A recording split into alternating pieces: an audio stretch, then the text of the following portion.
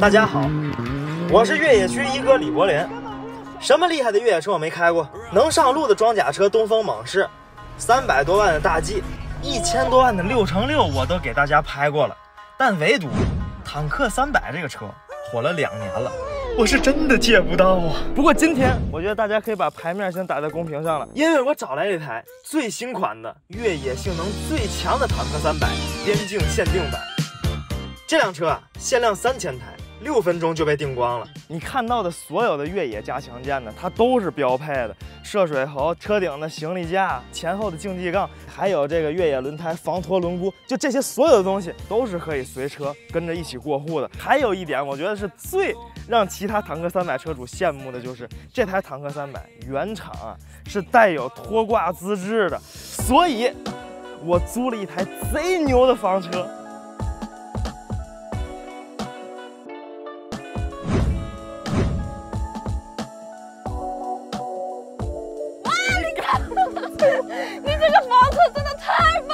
干嘛在我房车上？你是变态吗？管你给我起开！这房车牛归牛，你你能开吗？那么大个哎！前两天专门花了六千八百块钱去增加了 C 六驾照，就是为了开这个，而且是王杰克报销的。他说只要点赞超过六点八万，他就给我报销。我一想把你叫来，很难点赞不过六点八万了吧？他们不会那么不给你面子吧？对不对？你这搞得我很尴尬。这一趟就麻烦你开车了，走吧。欢迎收看《极速拍档》全新自驾游栏目。夏日出逃计划。我一直以来有这么一个选题想拍，就是想开着我喜欢的车，带着我我我我我的好朋友们，然后一起一起出去玩。怎么玩？我会把这些地点都分享给大家，因为其实广东周边也有很多不错的地方可以去短途自驾游。那今天我们去哪呀？夏天要干嘛？你先告诉我。玩水、晒太阳。准备好性感的泳衣了吗？准备好了呀。行。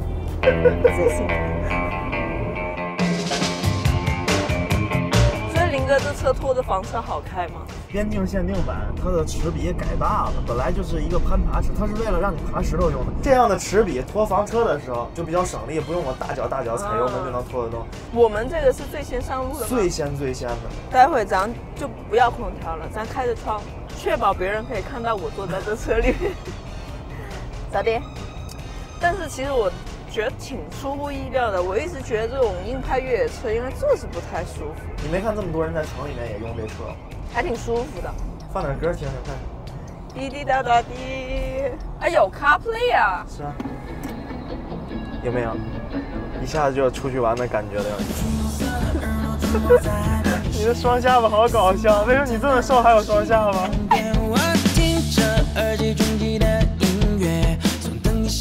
从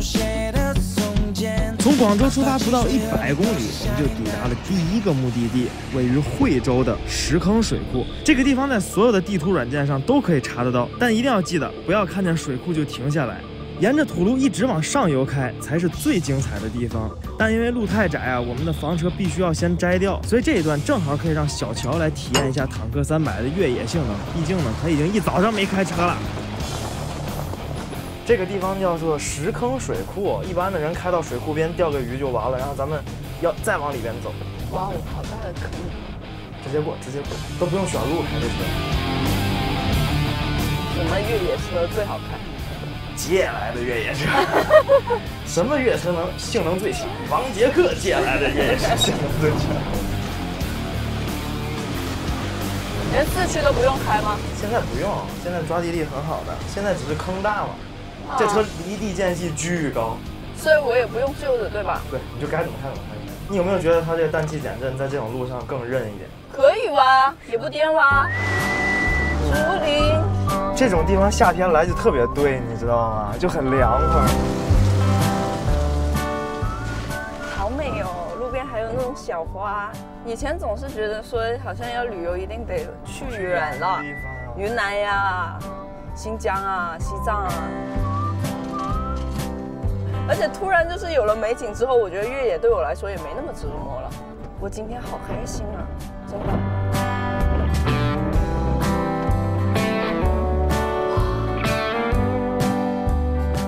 我我跟你说啊，过水的时候也不要太慢啊，稍微快一点点，要不然陷在水里面很尴尬的。三个字，没的问题。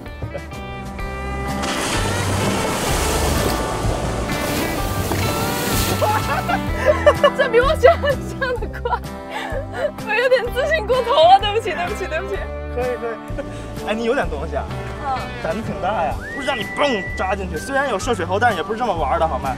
然后跟大家说一下，这个地方呢叫做石坑水库，它属于一个水源保护地，嗯。所以你不能在这边生火呀，或者做一些特别污染环境的事。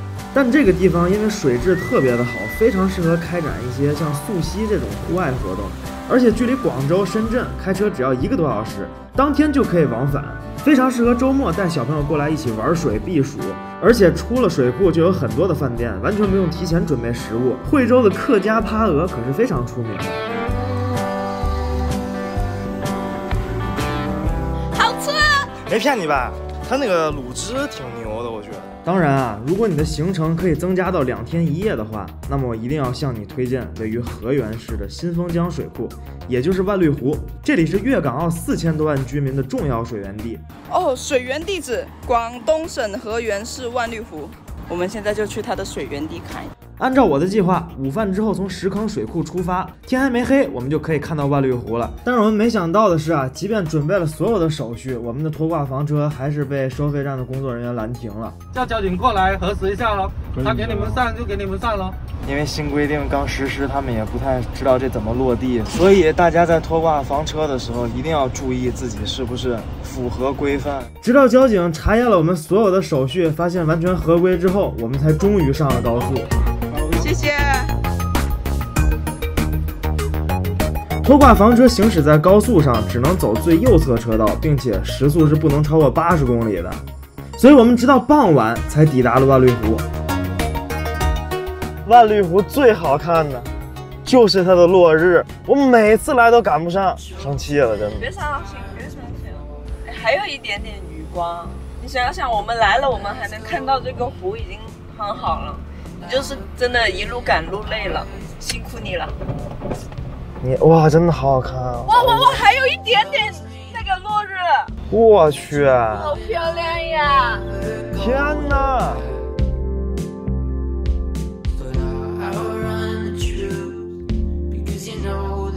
我已经放弃希望了，我以为来了之后全天全黑了，我认了。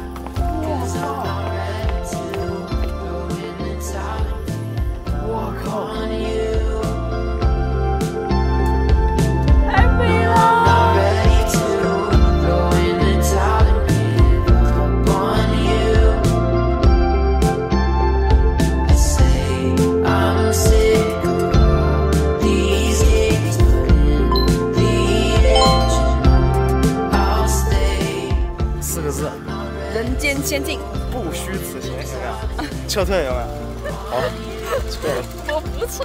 虽然很幸运的赶在落日之前看到了万绿湖，但由于万绿湖的水域面积非常大，现在我们所在的位置距离今晚的露营点还要摸黑走二十多公里的山路，而且这段山路正在翻修，道路非常窄。往右打一点。别动，别动，别动！我已经到不上来。这个一个轮子掉到路边。今晚在这里住吧。来，我不要不要吓他，不要吓他。还是开太快了，刚才没经验，给你来个小插曲。还是不能太快。说真的，这个事儿。跟咱林哥出来啊！你叫咩？和我新鮮和我金啊！走走走，上上上！停停停停停停停！遇到钢筋了。第二个部分。别走了，你走吧走吧，离远点离远点。走走走走。走。漂亮。耶耶耶耶！下次下次走这么危险的路别听歌了，行吗？要不我们下次干脆别走危险的路，不就完了吗？不过好在有惊无险啊，我们顺利抵达了位于万绿湖东北部的绿畔山庄。这个地方同样可以用地图软件直接导航到。我们住在这儿呢，主要是因为这里面有一个专门的房车露营地，有稳定的水电供应，这样住在房车里也会非常舒服。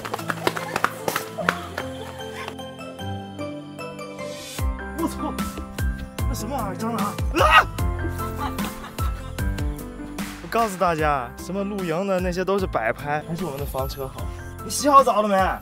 咱有一说一的床还挺挺棒的。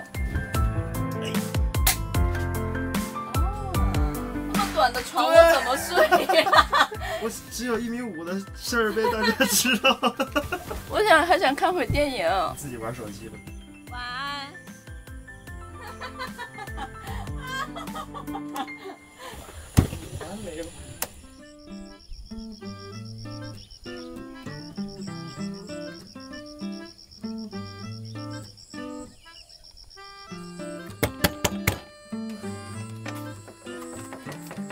早。老年人的生活已经开始锻炼。我们今天到底要玩啥？玩桨板，咱俩就滑到对面那个岛上。啊，巨远，怎么可能滑得到呀？还好吧，三点五公里啊，我之前滑过一次，滑一个小时就到了，特别漂亮，风景。快吃吧，吃完走了。我先上，就这样吗？太长了吧，推出去。可以绑一下就可以了，帅啊！它这个车顶行李架是真的好用，各种锚点，这个地方。夏天的感觉一下子就来了，有没有？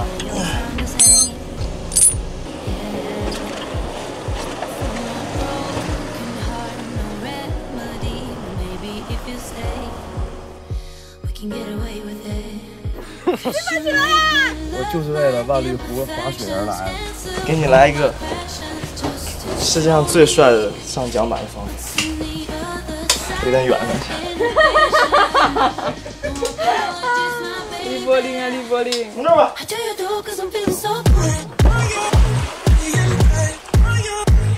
How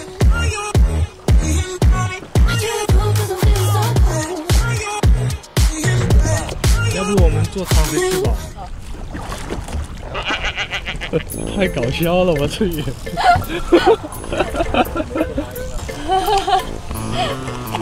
我林哥还没发现我藏起来。明明是他的节目，为什么被整蛊的还是他呀？林哥，加油！等我追着你，我一定杀了你。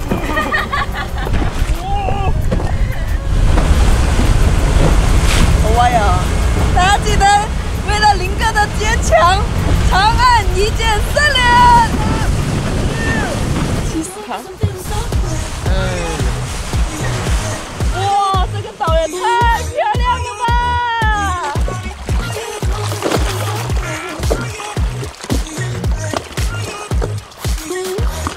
水猴子，林哥，林哥，我们开船走吧。再见，水猴子！再见，也轮到你有今天。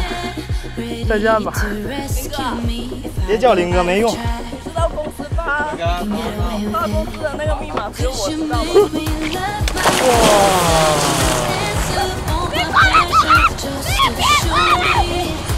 哎，看，看，看我，真的，你看，你看，你吓死你。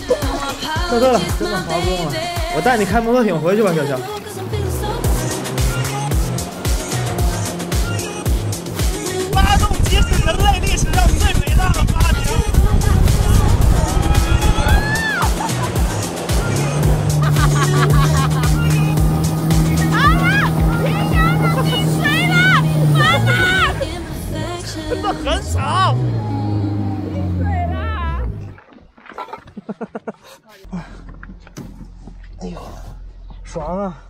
座椅通风给我打开。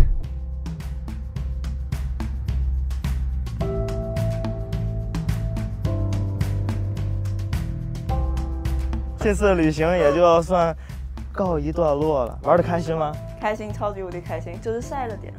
我觉得除了那个玩的开心之外，这次我做了一个特别正确的决定，车选的特别对。其实你知道，我不是一个喜欢越野的人，说实话，坐着还挺舒服的。这个我有点出乎意料。那对于我来说呢，解锁了我一个全新的旅行体验。因为之前我，我很早就开始接触露营了嘛，而且不是那种精致露营，是真的搭帐篷的那种，你玩生存那一挂的，没有任何舒适性可言那种露营。但是我必须还是要吐槽一下，我发现要不然就自己买一台，要不然就不要租，真的。像我这种租两天，拖来拖去的，我现在想想回去我脑袋疼。我挺开心的呀。对你不开心，当然开心。疲于奔波的我们常常会忘记，快乐其实很简单。闲暇之余，带上阳光，携三五知己，那些细微的美好就在我们身边。出逃的意义从来不是逃避，而是储足勇气，再次出发。跟我们一起出门吧，这个夏天才刚刚开始。打一个那个上半身，谢谢。